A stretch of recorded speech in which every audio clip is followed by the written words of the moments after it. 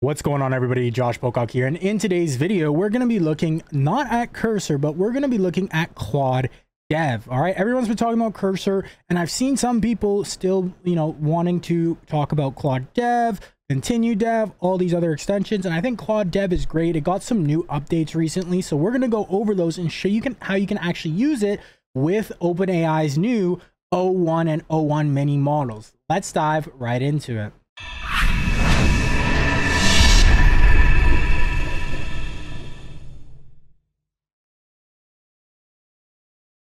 Alright guys, so if you're not familiar with Claude Dev, I've done videos on it before. Autonomous coding agent right in your IDE, capable of creating files, executing commands, and more with per, uh, with your permission every step of the way. So this was actually uh, one of my favorite, and still is one of my favorite VS Code extensions for AI coding.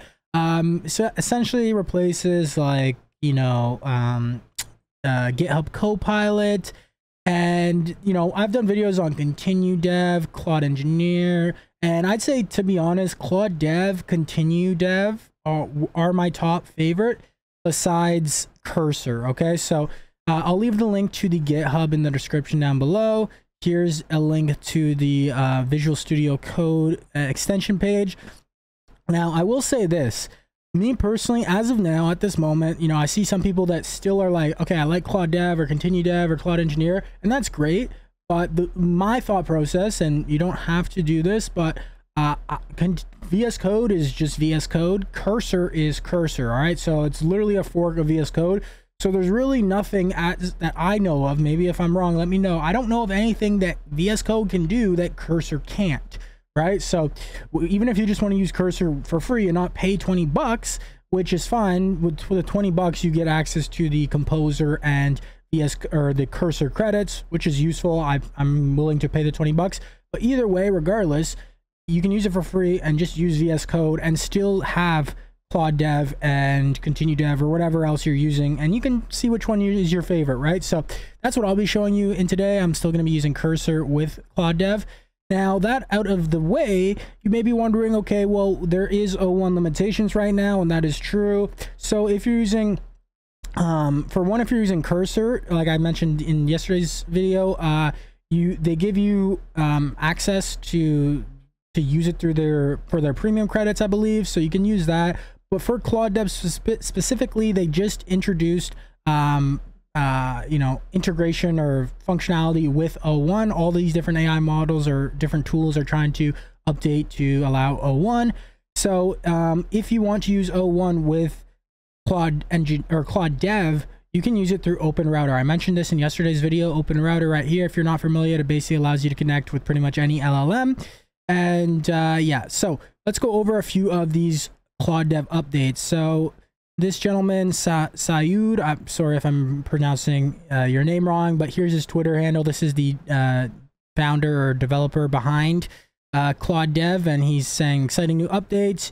You can now monitor your workspace for linter, compiling, and build issues as he works. This uh, lets him automatically fix problems like missing imports, type errors, and more all on his own. So actually, like the, the reason, one of the reasons Claude Dev was one of my favorites is because this extension, it, it does a lot of really cool things. Um, and I believe it even may do certain things that well, it does do certain things that Cursor doesn't even do itself. So, I mean, I think Cursor could even take some notes from Claude Dev. But uh, here's his Twitter, and you can see he's posted a lot of different updates lately. September 5th, Claude Dev's changes now appear in your file's timeline, allowing you to easily view diffs of past edits. This is especially helpful if you want to revert to a previous version. No need for Git. Everything is tracked by VS Code's local history. Me personally, I still like using Git. And then Claude Dev can now run commands right in your terminal. So this is something that, as of now, um, I don't believe Cursor can do. And plus, I mean, it's not that big of a deal. You copy and paste, but still. Uh, plus a new proceed with while running button to let him continue working as commands run, i.e. letting him react to server errors as he edits files. And that's pretty much it there. All right, so now I'm in my cursor uh, IDE, and we'll go over a couple more things with Claude Dev. If you haven't seen Claude Dev, in action before, that's okay. We'll go over the basics for you. But one few uh, few cool things with Claude Dev that even some things that Cursor doesn't have at the moment.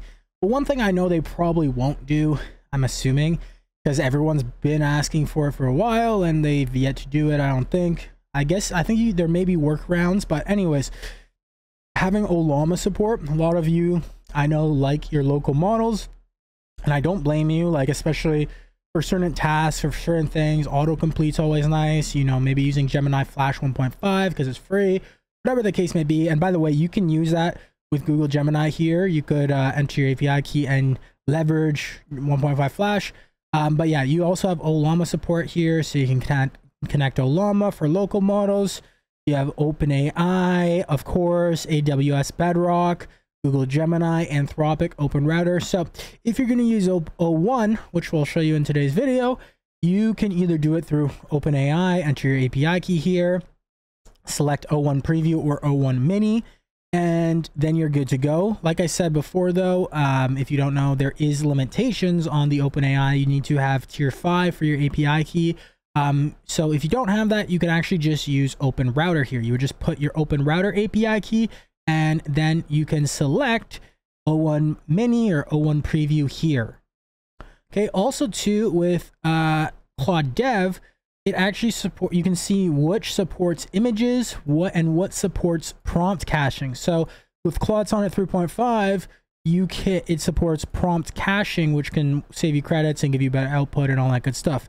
Now, another thing I really like about Claude Dev is I'm just gonna move my head over here since the chat is here um, I really like how it shows this information right here, like such as max tokens, input price, cache writes, writes price, uh, cache reads price, which is specific for prompt caching, of course, output price. All right, so basically how it shows this, and you'll see in the chat once we get there, it shows how much you're using per your generations, which is a really nice feature that something like Cursor doesn't have even continue dev as at least if they updated it recently they don't have it. So this is something like uh, that i really liked about uh, claude dev. It it kind of has some cool features that a lot of these other tools don't have.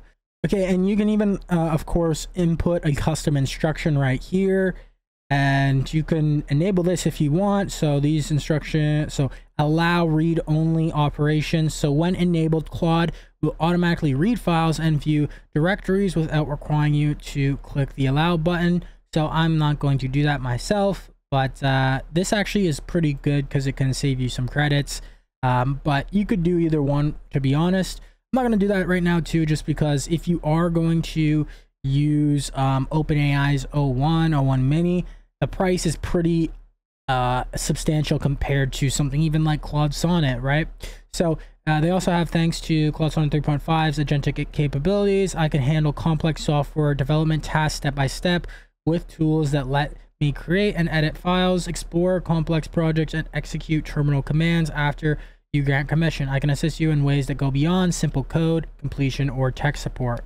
Okay, so if you are using um, the O1 model, I believe it doesn't support custom instructions and obviously it doesn't support image uploads at the moment. So we're going to start off by using O1 preview to do an overview of the project and then we're going to maybe use O1 mini to actually do the building out the files per se um, or maybe we'll just use one or the other it doesn't really matter reason i suggest probably switching to o1 mini for certain things is just because of the cost factor um, also speed too.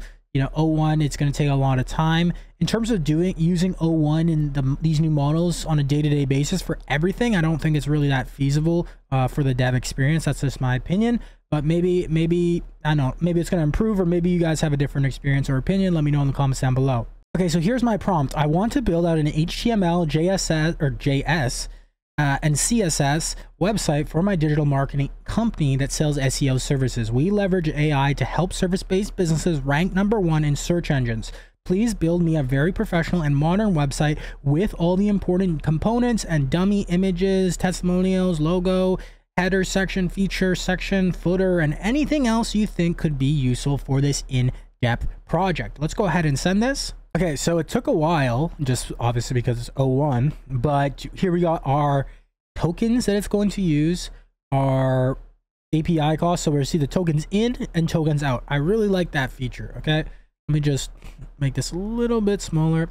You guys can see we got our accept or reject or save button here, um, which we're going to use in just a second. And we can see our API cost. So we're using about 50 cents per this one thing, right? So, I mean, definitely more expensive than uh, something like Claude uh, Sonnet. But here we have our API request to create this professional website. We're going to create the header section, hero section, feature section, testimonial section, footer, dummy images. I will create an index, 8.html, CSS, uh, style CSS, and script.js and organize them in a project directory called SEO website.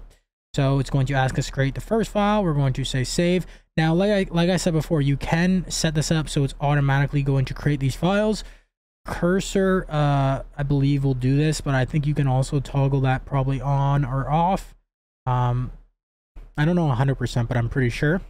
Okay and this is one of the reasons why i really i did really i still do still do uh really like claude dev um in terms of like comparison to all the other chrome or the uh, vs code extensions is because it uh the dev experience is just really nice. Like it, it can create files. That's what i like. Continue dev and I haven't checked it recently with, I know they had some updates, so I could be wrong. If I am, let me know in the comments down below.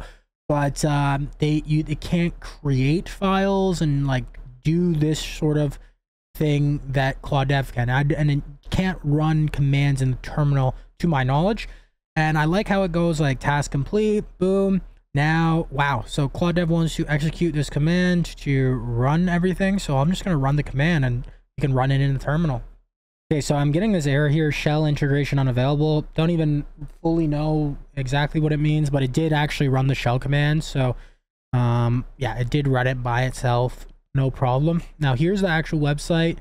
Let's just take a look at it. Okay, it's very basic, definitely not top tier level by any means, but you it, it is a starting point. You could definitely obviously improve upon this and make this look a lot better didn't do the images which even yesterday in my video okay so and this this is the headline is not legible just because it's white on white text right? So a lot of things you could fix with this but you get the gist of claude dev. Um, i would go ahead and start improving upon this. Now, i have gotten a lot of people wondering and i did a video yesterday testing claude dev or claude sonnet versus O1 the new O1 models and some people are like, oh, O1's like, you know, way better than Sonnet or, or just better in general than any other coding model. And I'm not, I can't fully like say yes or no on certain things. I, I, it hasn't been long enough for me personally testing these to really see. But one thing I will say is on a day-to-day -day basis, I'm I tend to still lean more to Claude Sonnet 3.5 just because it's way faster. Like I can't be waiting around for a simple prompt of output of code when Claude Sonnet can do it much, much faster. And most of the time, I can solve all the problems I need to with Claude Sonnet. I mean, the only time, like I said before, I've ever really had issues with these models is when it comes to some stupid little styling or something that's so simple that you could just probably do yourself or something that's like like just easy but it just will keep screwing up so that's what i've seen with these models it can do pretty complex things but then when you ask it to do a simple thing, maybe with styling or whatnot, that's when it tends to, for some reason, just keep on making the dumb mistakes, hallucinate, etc. So other than that, uh, you know, now that O1's out, we may see uh, Opus 3.5 come out very soon. So I would probably guess that that would, there's a good shot it could beat the O1 models, judging that, you know, I haven't, I personally haven't seen such a substantial improvement with the O1, but I also haven't fully tested it on some very difficult coding problems. I know some people have been, and they've been seeing some really good results with O1, but let me know what your thoughts are in the comments down below between about the O1 model as well as Claude Dev. Do you still prefer Claude Dev over Cursor, or are you just fully Cursor, like you're not even going to touch anything else?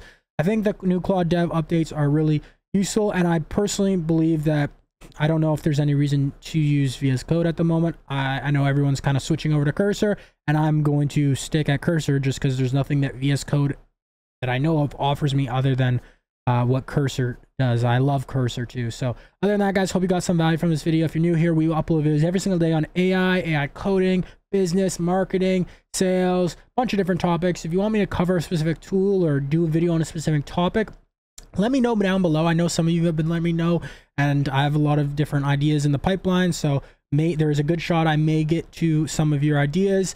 Other than that, guys, we're almost at 6K subscribers. Thank you for the recent 5K subscribers not too long ago. I think it was like last week. So we're growing pretty quickly. I really appreciate the support, guys, and I'm it makes me uh, more motivated to continue to put out higher quality content, higher quality videos.